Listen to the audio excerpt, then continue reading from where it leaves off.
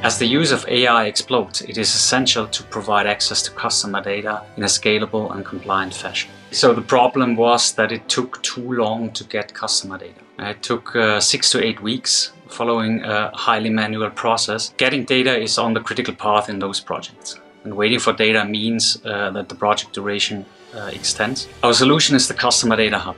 We wanted to make it simple for the end user to request data uh, and not put too much energy uh, into, let's say, the process itself. So it's just a few clicks. The magic happens in the background. And we brought down the time it takes uh, to access data from six to eight weeks uh, to a couple of business days, uh, even hours. The data scientists can focus on their actual work, which is not getting data. They can do more in less time. More projects can be run so right here in that video you will see only a part of the team, which is mainly the core team. But in the back, of course, there were a lot of other uh, uh, people. So far the Customer Data Hub is used by a couple of users as a pilot phase, uh, but in December we are planning uh, to uh, roll that out to full cloud ERP uh, product engineering teams. We are proud of having done now the first step with the Customer Data Hub and look forward to what's next.